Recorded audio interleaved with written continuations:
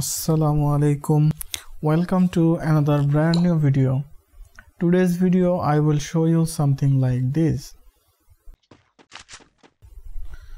So for making this you have to open premiere pro. And here you can see i have inserted two clip here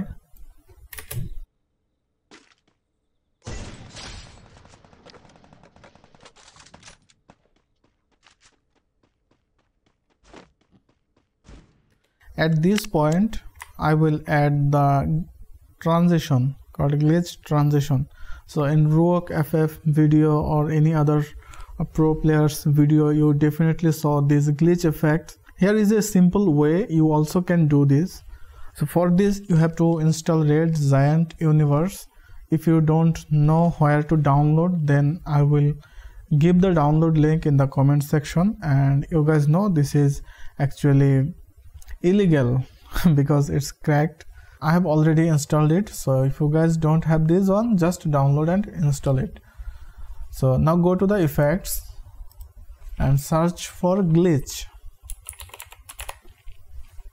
Here you can see I have installed also another transition pack you guys probably know that. If you guys don't know which what is this then i will give the link in the description.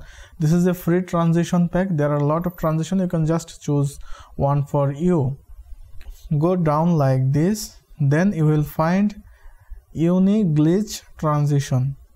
Click and drag on this. Click on this uni glitch transition and here you will find a lot of preset here see? Just simply choose one from this preset. Here are two options. Just find your and see which one is looking good for you. So now you have already selected the your favorite transition. I mean your favorite preset. Now you have to give the sound.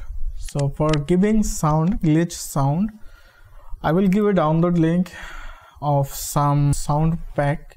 You can just download it. If you want to download more sound just go to youtube.com search for glitch sound and you will find a lot of glitch sound. Just download the youtube video and then cut the sound area and put it into your project.